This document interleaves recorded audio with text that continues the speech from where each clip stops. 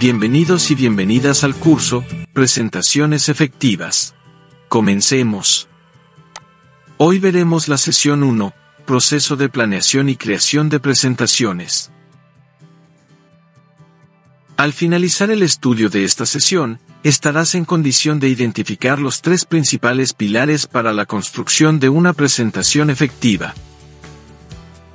Un aspecto muy importante que hay que tener en cuenta antes de diseñar nuestras presentaciones es el contenido que queremos transmitir.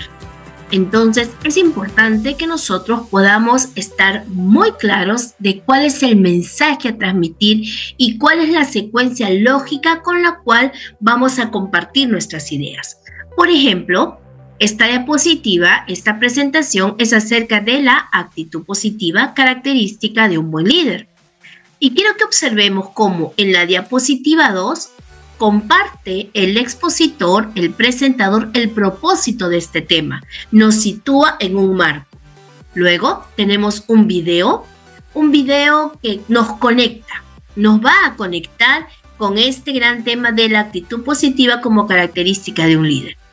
Al parecer, en esta diapositiva deja, eh, permite que los, eh, los oyentes o audiencia pueda participar compartiendo ideas. Por lo visto, aquí va a escribir alguna idea que quiera compartir, ideas, fuerzas que vienen del. Escribir compartiendo ideas. Por lo visto, aquí va a escribir alguna idea que quiera compartir ideas, fuerzas que vienen del video. Está interactuando. Luego, ya situados con el propósito, conectados emocionalmente, ahora les plantea la ruta. ¿Cuál es la ruta del aprendizaje? Van a trabajar la definición de actitud positiva, las características, beneficios y compromiso. La audiencia sabe cuáles son los pasos a seguir y esto permite que pueda estar conectada.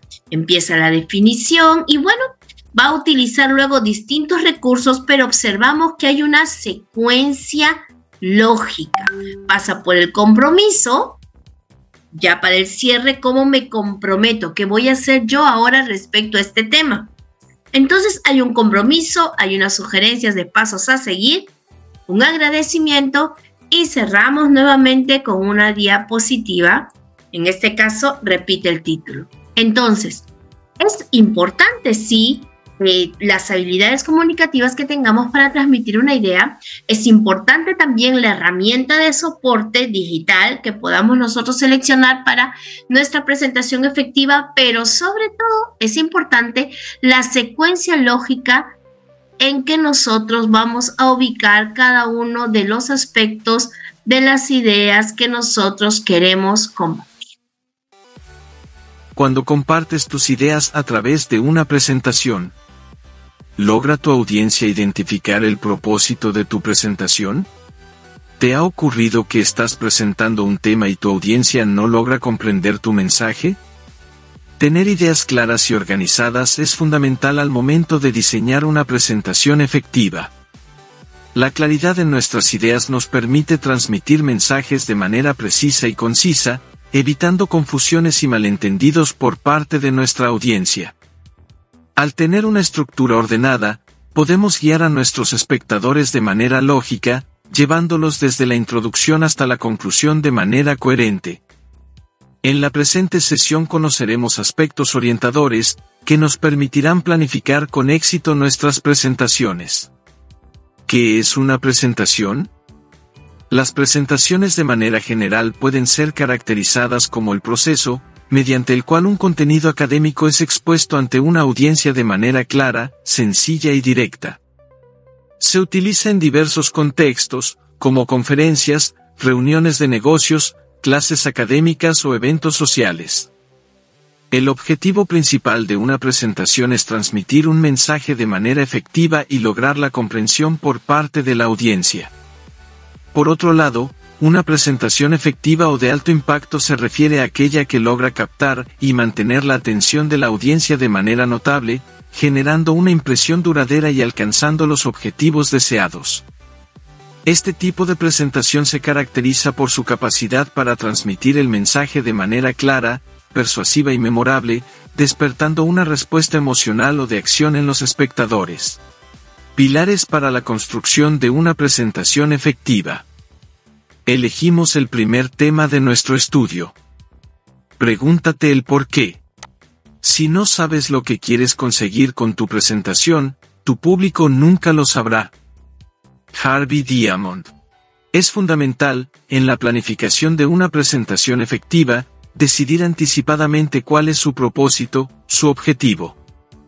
Te sugerimos algunas preguntas que pueden ayudarte a plantear un propósito claro y contundente.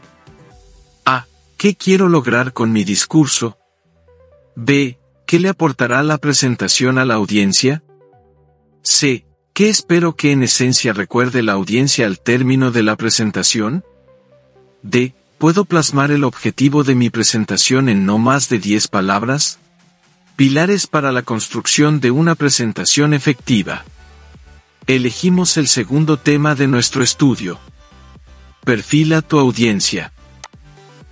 Diseñar una presentación sin pensar en la audiencia es como escribir una carta de amor dirigida a quien le interese. Ken Himmer. Iniciemos definiendo qué entendemos por audiencia. Según el diccionario de la lengua española, audiencia se refiere al grupo de personas que reciben y consumen un mensaje, ya sea a través de una presentación, un discurso, un programa de televisión, una conferencia, entre otros medios de comunicación.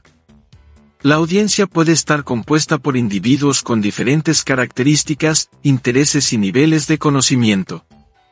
La definición de audiencia puede variar según el contexto, pero en general se refiere al conjunto de personas que están expuestas a un mensaje específico y que tienen la capacidad de recibir, interpretar y responder a esa información. Aspectos para perfilar tu audiencia. Para perfilar correctamente tu audiencia es preciso tomar en cuenta los siguientes aspectos. 1. Investigar. Obtener información sobre el público receptor de tu presentación. Edad, sexo, lugar de nacimiento, migración, nivel educativo, conocimientos previos o experiencias sobre el tema, etc. 2. Adaptar. Tener en cuenta los intereses de la audiencia y adaptar tu mensaje a las características comunes que poseen. 3. Incluir. Si no conoces a tu audiencia, será necesario generalizar el mensaje. Si se tratase, por ejemplo, de la capacitación sobre un tema específico, deberás abordarlo desde un nivel intermedio al inicio. Así, será posible aumentar o disminuir el nivel de exigencia. Conozcamos el tercer pilar para la construcción de una presentación efectiva. Prepara tu presentación. La confianza siempre está en proporción directa con la preparación. Darren Martín, en este espacio encontrarás seis recomendaciones para la preparación de diapositivas. 1. Controla la extensión de los párrafos.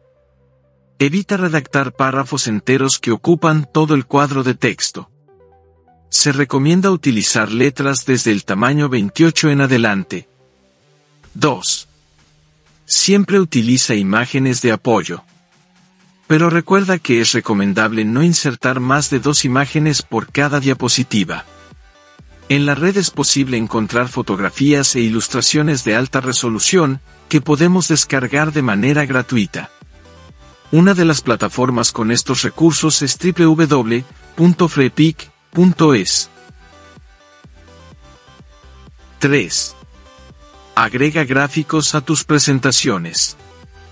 Para añadir valor a tus presentaciones, enfócate en crear gráficos que refuercen el mensaje principal que deseas transmitir y sinteticen la información de forma efectiva. No pegues hojas de Excel en una diapositiva. Estas son algunas plataformas que pueden ayudarte a lograr este propósito. Canve Gráficos. Cuenta con una gran variedad de gráficos. Solo tendremos que seleccionar una plantilla y añadir nuestra información. Holy Online Chart Builder. Web de gráficos que nos permite escoger entre 14 plantillas disponibles. Lucid Chart. Con esta web tenemos la oportunidad de hacer gráficos interactivos y mapas mentales.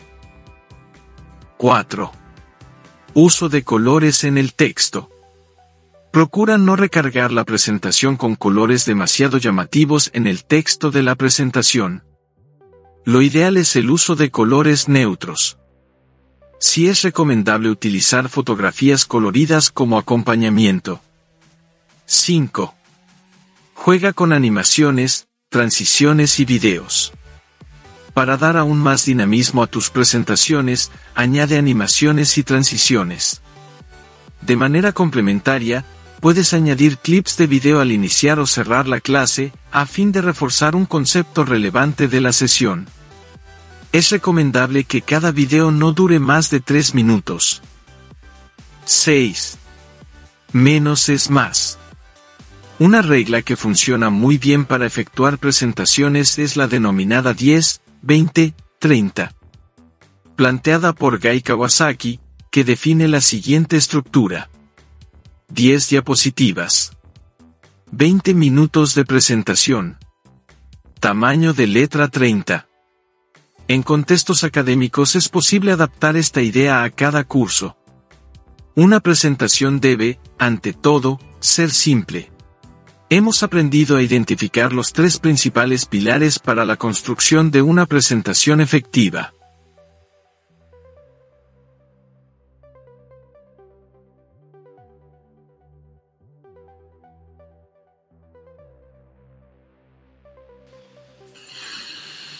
Ahí tenemos, este, efectivamente, ya Verónica anunció la técnica de 10, 20, 30. pues el autor es Gai Kawasaki. ¿Quién es Gai Kawasaki? Es un personaje eh, muy conocido también en todo el tema de, por ejemplo, eh, cómo convencer a públicos, que eso es importante, ¿no? Tiene numerosos libros, la técnica eh, relacionada con el 10, 20, 30, ¿no? que lógicamente nos empoderamos nosotros de estas técnicas y luego la aplicamos a nuestros estudiantes. Eh, bueno, aquí este, hay un fondo negro. Bueno, lo que nos recomienda Gai Kawasaki es de que las diapositivas deben tener un fondo negro. Él argumenta, pues, efectivamente, eh, pero vamos a comprobarlo ahora. Por ejemplo, yo les voy a mostrar aquí este fondo blanco y con la letra negra. Eh, si yo hiciese una pregunta y le dijese a ustedes cuál de los fondos se ve mejor o se ve con más claridad o no, no nos distraemos mucho, nos cansamos tampoco este, de nuestra, nuestra visión.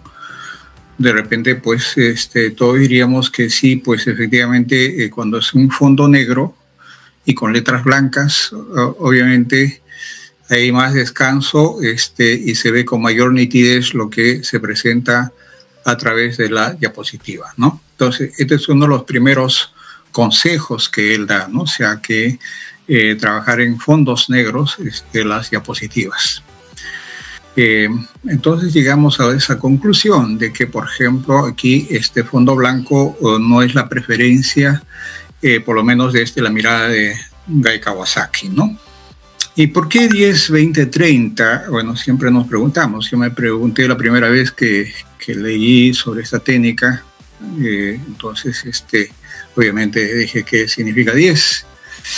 Y bueno, lo que significa 10 significa que son 10 diapositivas, nada más que 10.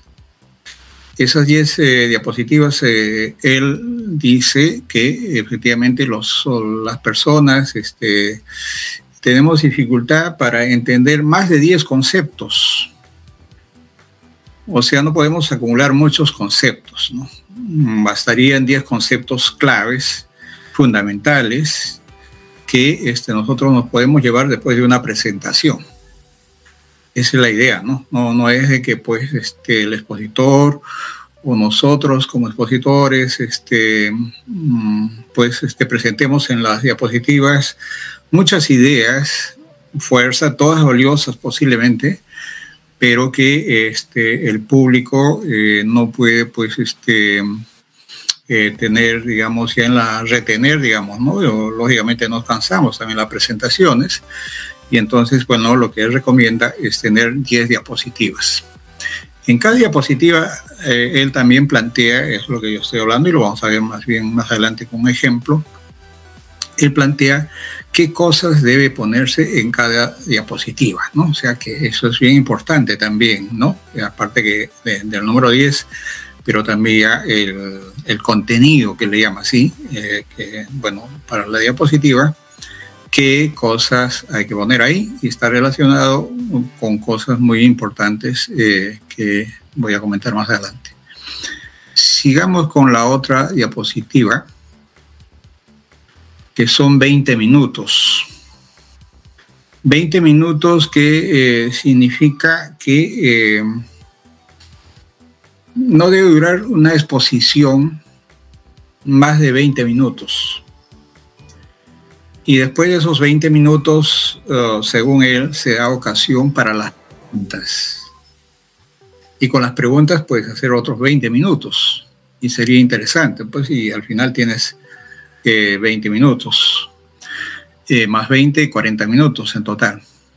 20 minutos también, eh, según Gai Kawasaki, es la capacidad de, de, atención de un adulto, ¿no? O sea que eh, nos ponemos lógicamente a atender a un expositor y en 20 minutos, pues, este, si él lo hace excelentemente, estamos pues ya suficientemente eh, pues este, claros en lo que él ha querido exponer y, claros en las ideas que, que nos ha dejado. Entonces, este, eh, más tiempo obviamente es perder por parte del expositor dejar, digamos, en las mentes de las personas este, ideas fundamentales, ideas clave, ¿no? Se puede hablar una hora, se puede hablar dos horas, eh, pero eso se pierde, digamos, las ideas que tú como expositor la tienes programada, que eh, es el propósito que tú tienes para dejar en las mentes del el auditorio. Y nos habla de 30 puntos de fuente. Eh, bueno, este, esto es importante, ¿no? O sea que, y sobre todo, claro, en auditorios, donde pues este, hay un público numeroso y donde hay personas que sí, claro, se sientan en, la parte de adelante, pero hay personas que también están en la parte de atrás, porque pues obviamente el auditorio no, no, no tolera que todos estemos adelante, ¿no? Tenemos que ponernos en la parte de atrás y si las letras son mm, más pequeñas que, 30 puntos de fuente, ya es un problema, ¿no? Porque mm, ya no se puede ver esas, este, esas ah, diapositivas, ¿no? O sea que lo que dice ahí, de repente los textos. Aunque tampoco los textos no son tanto para que eh, eh, lo lea el expositor, eh, sino más bien son rutas para el expositor para que comente el recordatorio para el expositor para que él desarrolle en base a esas líneas que están en las diapositivas y no es simplemente pues este comenzar a leer todo lo que está escrito porque ahí se pierde digamos la se distrae al público porque el público también conjuntamente contigo se pone a leer y este, algunos leen más rápido, otros menos, y entonces este, no tendría mucho sentido que haya una exposición a través de, pues, de un expositor donde este, hay que leer, ¿no? Entonces, eh, eso también es otro tema, ¿no? Porque yo sé, eh, pues cuando yo expongo me dicen, este, pásame, eh, al final nos piden, ¿no? Este, el PPT de la, de la exposición pero en el PPT de la exposición no hay mucho, porque lo que hay más es en todo lo que has hablado. Entonces la importancia no es tanto el, documento, el PPT, porque en el PPT a veces hay gráficos, a veces este, hay, hay una, un dibujo, o a veces puede haber simplemente algún otro símbolo y más nada. Eh, lo que hay es lo que, el, lo que lo valioso es lo que el expositor está exponiendo o está hablando. Entonces, por eso este, el PPT tampoco puede ser un distractor, un competidor con el expositor, ¿no? O sea, el expositor está hablando, pero a su vez este, la diapositiva está llena de letras y entonces eh, todo el mundo está queriendo leer y además está diciendo, bueno, pues este, eh, puedo distraerme un poco porque al final hay que pedirle el PPT y ahí está, ¿no? Entonces, claro, obviamente la intención no es dejar de, entregar el PPT, nosotros vamos a enviar este, a los organizadores este, que nuestros compañeros que estamos trabajando conjuntamente con ellos les van a enviar, eh, pero este, la idea es de que más bien lo más valioso, lo más este, eh, rico para, para, entender pues, este, lo que expone el expositor. Entonces, eh, bueno, eh, volvemos al, tema de, del tamaño de la letra. son 30 puntos, este, esto es importante, ¿no? O sea que ahora ya dominamos mucho. Y este, yo recuerdo también una vez iba a hacer una presentación, este, un evento internacional y me dieron unos consejos, ¿no? Como le dicen, tips. Uno de los, hasta ahora me acuerdo, es, eh, me hablaron, sí, efectivamente, los, de los 30 puntos, pero me dijeron otra cosa muy práctica. Me dijeron, imprime lo que vas a, el PPT que vas a hablar, ponlo en el suelo, y si es que tú lees, este, estás en la posición de parado, y tú lees lo que está en el suelo, ese es el tamaño que debes emplear el tamaño de letra que debes emplear. ¿no?